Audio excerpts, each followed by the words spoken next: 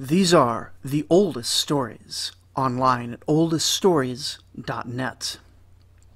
Today we begin a new period in Mesopotamian history, one which will run from 2004 BCE until 1531 BCE, and feature Amorite dominance, political fragmentation, and an explosion of culture, or at least culture which survives to modern times and thus can be retold on a podcast.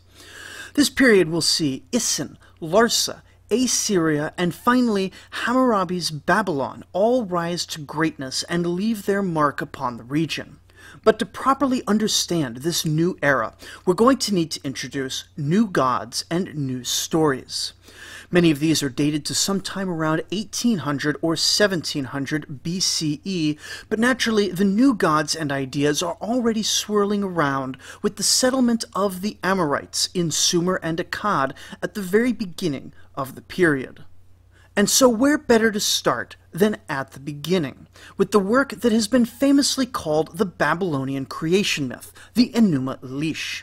To think of it as a singular canon work akin to the book of Genesis would be mistaken, since as we'll see there are many accounts of creation given over the years, but this is the one that features Marduk, who will be a chief god from now on, all the way in fact into the History of Persia podcast when the excellent Trevor Culley will mention him being patronized by Cyrus the Great 1500 years from now. This is also one that will persist far longer than much of Mesopotamian culture, being cited in the Seleucid period and even having mentions from just before the Islamic invasions.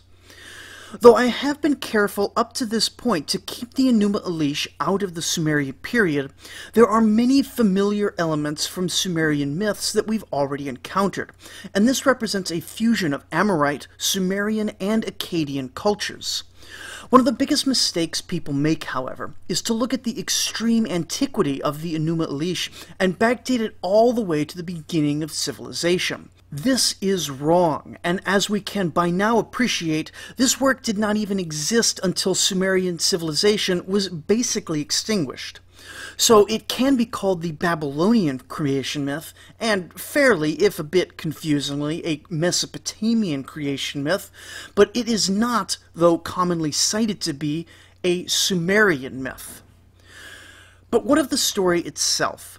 It is seven tablets, copies and fragments of which have been found from numerous places and times over the centuries, with some of our most complete copies being from much later, and some from Assyria, telling the same tale but substituting the later god Assur as the hero instead of Marduk. Apart from these Assyrian modifications, however, the various copies are remarkably consistent, likely due to the fact that this story would be read aloud each year at the Akitu festival, which marked the new year. The fifth tablet has a fair bit of damage and has only been partially reconstructed, but aside from that, the narrative is in excellent shape considering its age.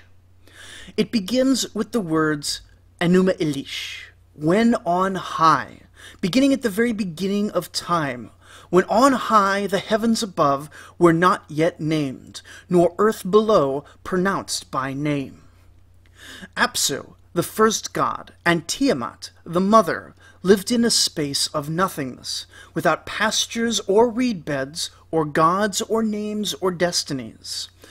And so the two of them mingled their waters together, birthing the first four gods, Lahmu and Lahamu, Anshar and Kishar, each growing to maturity and speaking their names aloud for the first time. Anshar and Kishar gave birth to Anu, also called An, the first name we should recognize from previous episodes. An then gave birth to Nudimmud, an unfamiliar name for a familiar fellow, the god of waters and wisdom, Ea. An was the equal of all four of the previous generation, and Ea, being both strong and exceedingly wise, was greater than his father or grandfathers. A bunch of other gods were born too. And all of these new gods would get together and basically party all day, since what else are you going to do in a floating void? All their noise and activity stirred up the waters and made a bunch of noise and began to irritate the original two gods, who were used to the calm silence of nothingness. The mother, Tiamat, was inclined to indulge them, even though she was definitely irritated. But the father Apsu yelled at them to be quiet. But in the manner of rowdy teens in any time or place, they just ignored the elders, deciding that they were uncool party poopers. Finally, Apsu summons his advisor, Mummu, all the gods, we should note, have these sorts of ministers or advisors or hangers on, uh, usually one per god, and they're never really explained. They just sort of follow the god wherever it goes. So when this advisor Mummu shows up, Apsu says that it is time to go have a meeting with Tiamat about this issue. So they float over to Tiamat, and Apsu says, This is intolerable. How am I going to get any sleep around here when these kids are playing their hip hop music and twerking all the time? I vote that we murder them all so that we can enjoy nap time again. Tiamat, however, was horrified at the suggestion of postnatal abortion. Enraged, she screamed that she couldn't possibly destroy what they had given life to, and that Apsu needed to be more patient and understanding with these children. Advisor Mummu, however, did not agree with Tiamat's benevolence, and once they were out of earshot, Mummu whispered into Apsu's ear, saying, Listen, you heard the strain in her voice. It would be doing her a favor to quiet this noise and let her sleep. She really wants you to do it. She's just too embarrassed to say so. And with this validation, Apsu was so delighted that he hugged Mummu, and Mummu climbed up on Apsu's lap and they kissed. But secrecy hadn't been invented yet, and all the young gods heard about Apsu's plan to kill them all. They fell silent and still for the first time since creation, cowed by fear. But this was a total buzzkill, and Ea, the wisest, didn't put up with anyone turning the music down. So he hatched a plan. Step one was a magic spell to put Apsu and Mummu to sleep, executed flawlessly. Step two was to steal Apsu's crown and mantle of radiance for himself, also done without a hitch. Step three was to murder Apsu and Mummu in their sleep. Again, zero problems. Step four was to cry out in triumph. And with this, bing bang boom, mission accomplished. He sets himself up in a palace with his lover Damkina, who is sometimes equated with Ninhursag. Where did this palace come from? It was carved from the corpse of Apsu. What else could be more regal? They're living inside of a dead body. Then the two of them got to reproducing and produced Marduk. The poet repeats that a few times since it is important and they want you to remember it. Marduk was born inside Apsu, the first god, from the god of wisdom, and thus is wisest of all. Marduk was suckled by goddesses, and the nurse who reared him, quote, filled him with awesomeness. His form was proud, his gaze penetrating, and his strength great right from the start. And when his grandfather An first laid eyes on the boy, he was overjoyed. Marduk was so perfect, in fact, that he had double the amount of godhood that anyone else had, and was elevated above the other gods right from the get-go. His limbs were so amazing as to be incomprehensible, like literally difficult to look at. They were so cool. And he had four eyes and four ears and a mouth that spewed fire, and he was quite tall as well. And he had some sort of godly jewelry that floated over his head with more glory than ten normal gods, and beams of light radiated all around like a divine almighty disco ball. His grandfather gave him the four winds as a toy to play with, and everyone was just standing around discussing how amazing this new kid was. And with all this hubbub and to-do of a child playing with wind and all the gods partying, the commotion was worse than ever. Even some of the other gods were getting sick of it, and they went up to Tiamat, who also couldn't sleep, and they said, Why are you putting up with this? They killed your lover and his advisor, and now they're causing more disruption than ever. And Tiamat looked at them for a while before saying, You know what? You are absolutely right. This whole creating life thing was a big mistake, and I'm going to fix it right now. Tiamat and her ally gods schemed and convened councils and began to create fearsome demon weapons. She made snakes with venom instead of blood, and godlike dragons that shot out beams of light, a horned serpent, a Mushushu dragon, whatever that is, a Lahmu hero, an Ugallu demon, a rabid dog, a scorpion man, Umu demons, fishmen, and bullmen. Then she made 11 more demons who were either too horrifying to record or too boring to remember. She promoted a god named Kingu to be the general of her army, and gave him magic spells to be the strongest of all gods. Then, to ensure his loyalty, she took him as her lover, and set upon him the throne of kingship, handing him the legendary Tablet of Destinies, so he would have power over all of fate itself. This is the end of Tablet 1. Clearly, they had developed a better sense of narrative structure and suspense building compared to the older Sumerian literature.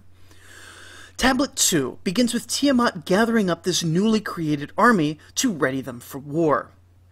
Ea gets a report in his palace made of the corpse of his dead great grand grandfather, great grandfather, Anyway, Ea gets a report that an army is massing and is completely shocked.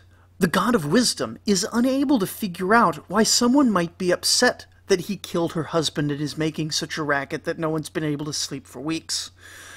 And so he runs to his grandfather Anshar and informs them that Tiamat is bringing an army to kill them all. An army of chimerical monsters, so horrifying to look at that just seeing them will cause anyone to collapse in utter terror.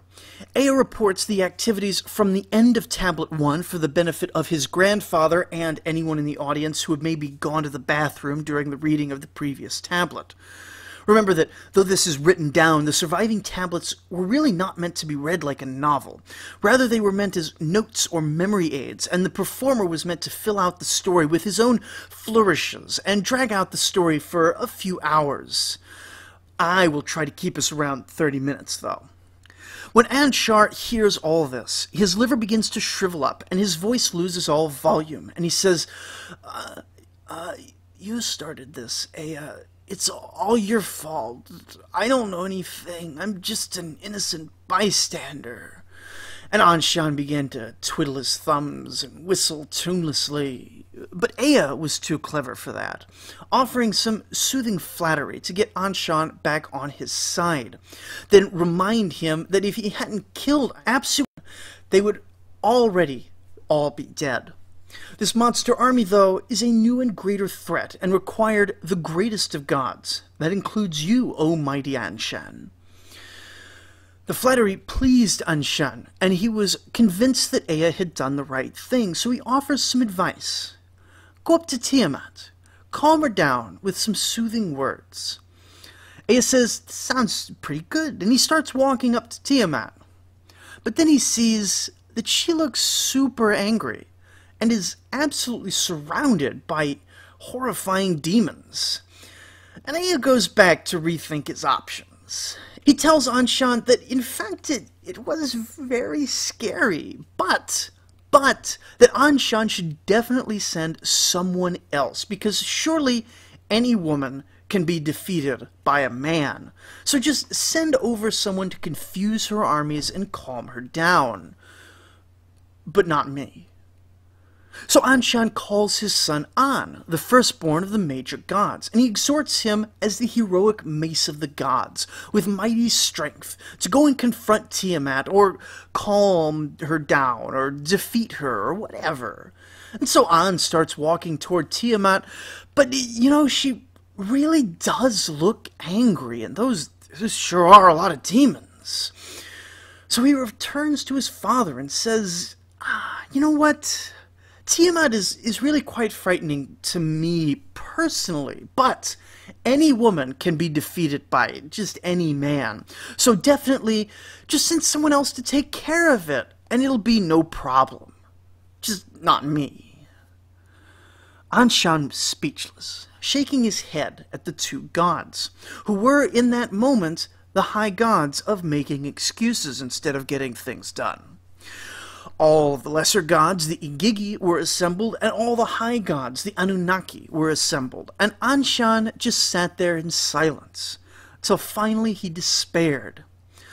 Will no one step up and take care of this? he cried out. In just that moment, from a hidden corner of the meeting room, a voice cried out, accompanied by a band playing a jingle like the theme song for a cartoon hero. This was Ea, though no one noticed through the bombast. Whose heart is perfect? Who is the mighty champion? Who rushes fearlessly into battle? Marduk the hero! And the spotlight kicked on, picking out Marduk from among the crowd of gods. This fed his vanity, so swept up in the moment, Marduk lightly jogged up on the stage as a path cleared before him like a contestant on the Price is Right. He came up to Anshar's throne and kissed him on the lips. Then with confidence he addressed the eldest, saying, Why are you silent?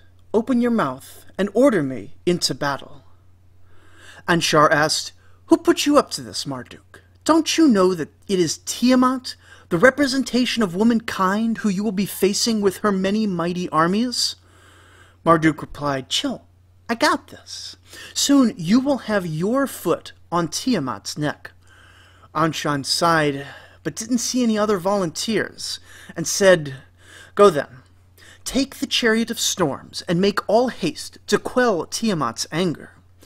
All right, said Marduk. Here we go.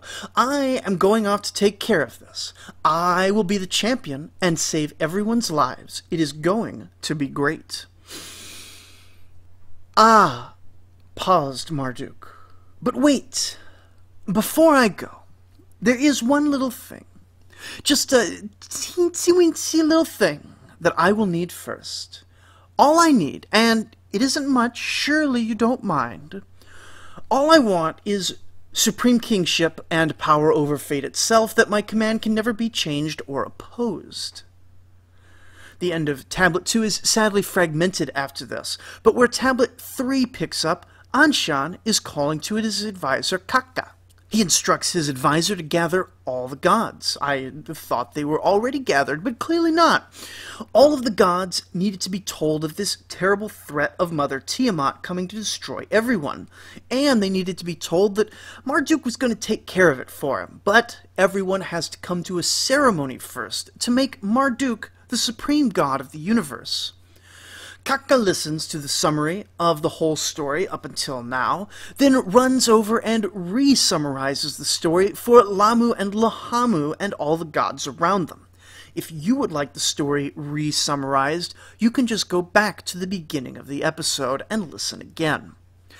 The lesser gods start to get upset. They had no idea until just now that there was anything wrong at all, and so everyone begins to pile into the massive banquet hall.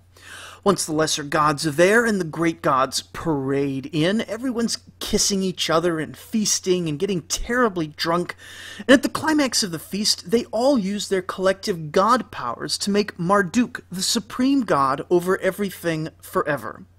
This takes the whole of Tablet 3.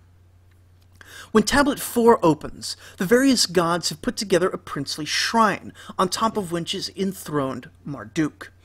The gods all give a big chant about how great and wonderful Marduk is. They name him as champion of the gods and sovereign over the whole universe. They then pray for him to have good aim and a strong arm, because he was about to need it. Then, as an example, they set up a constellation in the skies. They then tell Marduk to speak and make it disappear. He commands it to disappear, let the light be gone, and poof, gone. They then urge him to make it reappear, and he speaks, Let there be light, and poof, back again. Incidentally, this creation through words will become the model for later Assyrian and Jewish chief gods, since both would be inheriting the core of their culture during this Amorite period of history. Anyway, Marduk makes some stars pop in and out until he gets bored, and having confirmed his supremacy over the universe, it is time for war, or as Marduk calls it, the path of peace and obedience beating George Orwell by just shy of 4,000 years with the concept of doublespeak. Marduk then creates his weapons, each massive and fit for his hand alone. A mighty bow, his primary weapon, and a quiver of well-crafted arrows are slung on his back. His reserve weapon, a one-handed mace, is at his hip, and so far he looks quite like a standard Amorite noble warrior. But then he also arms himself with a lightning bolt and fills his body with fire. He creates a massive war net to catch Tiamat, and he summons the four winds to be his servants north, south, east, and west. To these four winds he adds the evil wind, the tempest, and the tornado, making him the master of seven winds. These winds he releases to wreak havoc and announce the beginning of the war as he steps onto his storm chariot. It isn't clear to what he hitched his chariot, since honestly it isn't always clear what animal is used historically. Possibly an onager, some other donkey or mule, but this is even less clear in the mythological context where we are filled with strange beasts. But we know that whatever they are, their names are Slayer, Pitiless, Racer, and Flyer. Rather more awesome than the pullers of Santa's sleigh. Whatever they are, their teeth are poisoned. They know not exhaustion. They can only devastate. Marduk stands clothed in awesome armor and wearing a radiant crown. On his lips sat a magic spell, and in his left hand he held herbs to counter poison as he faced down the road toward Tiamat and began forward. All the lesser gods are in a disorganized mob parading behind him. Finally, Marduk reached the site of battle, looking into the middle of Tiamat, trying to figure out from the disposition of forces what Kingu's strategy is going to be. But as he looks more and more at Kingu and his fearsome monsters, he begins to get light-headed, and his mind grew confused.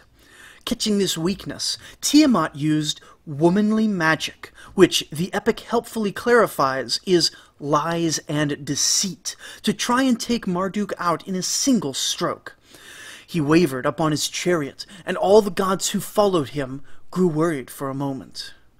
But Marduk withstood this mental pressure, and he held his battle mace high, calling to Tiamat, Why all the tricks? Why this army? Just because your sons were noisy and disrespected their fathers, should you, our mother, reject compassion? By seeking evil for Anshar, king of gods, and appointing this beast Kingu to godly status, you are the one who has wronged us. Let your army prepare, for I challenge you to glorious single combat.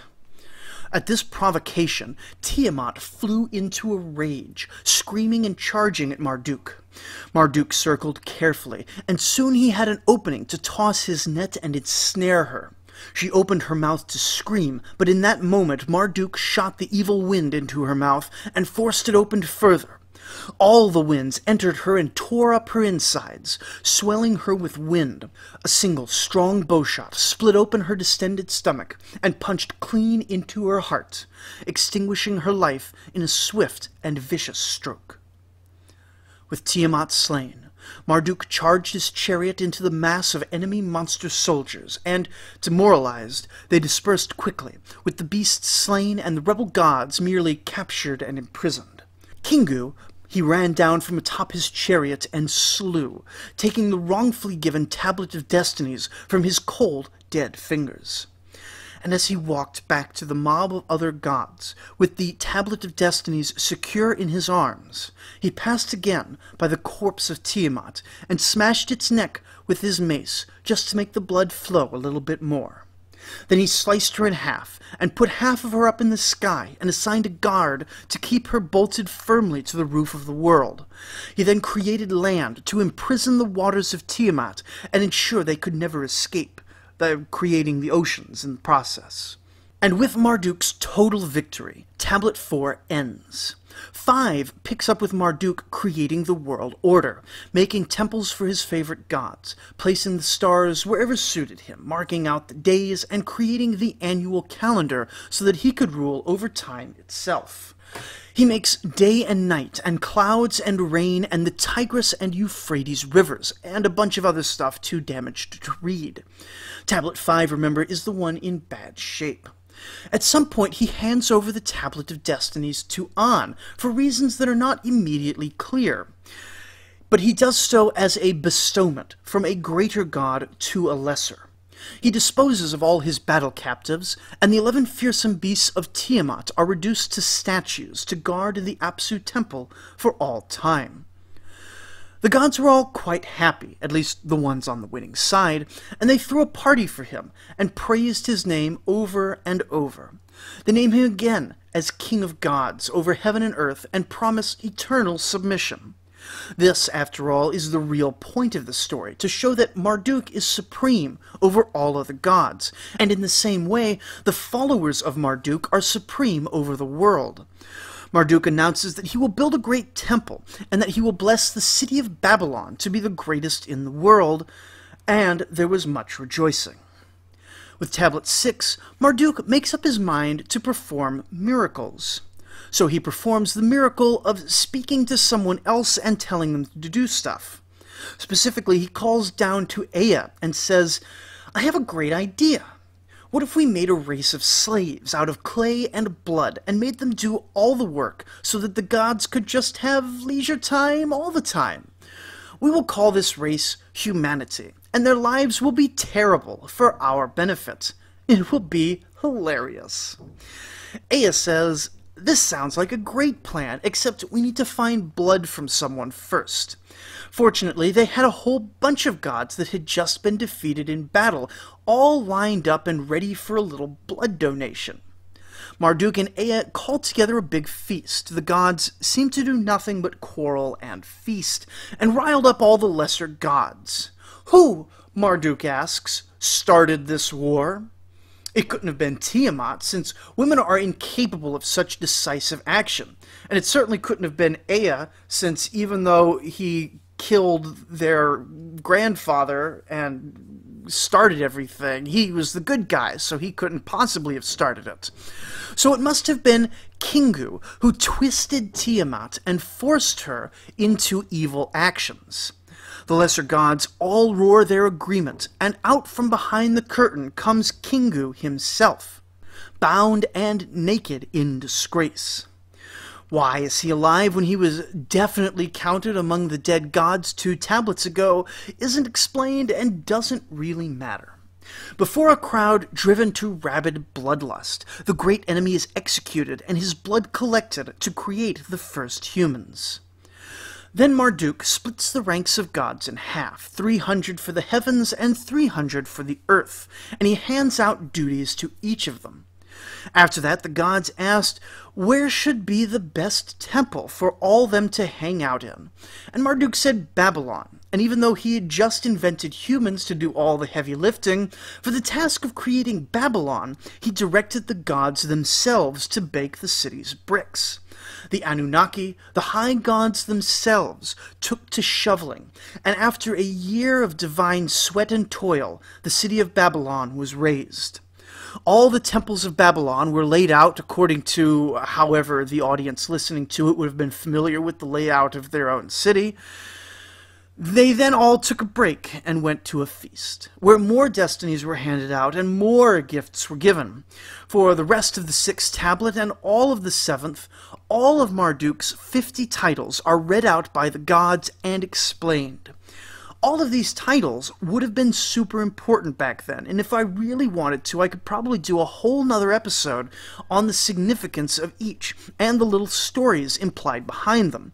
But honestly, my eyes glazed over after about three of them, so you can read them yourselves if you want. I will post a text version on today's post at oldeststories.net. But to get a little taste of the hymnal side of the work, let me read out the closing benediction of the epic. With fifty epithets, the great gods called his fifty names, making his way supreme. May they always be cherished, and may the older always explain to the younger. Let the wise and the learned consult together. Let the father repeat them and teach them to son. Let the ear of the shepherd and herdsman be open. Let him not be negligent to Marduk, the Elil of gods.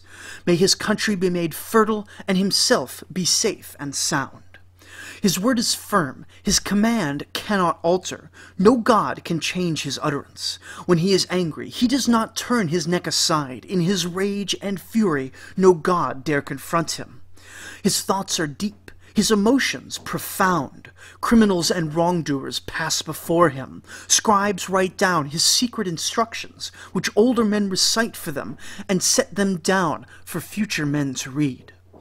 May the people of Marduk, whom the gods created, weave the tale and call upon his name, in remembrance of the song of Marduk, who defeated Tiamat and took the kingship. Next week, we will continue to look at some of the new gods and stories that will come to shape the Semitic Sumerian mixed culture that now dominates Mesopotamia. Join us next time as we introduce some new faces and see familiar faces through a new cultural lens. Thank you for listening.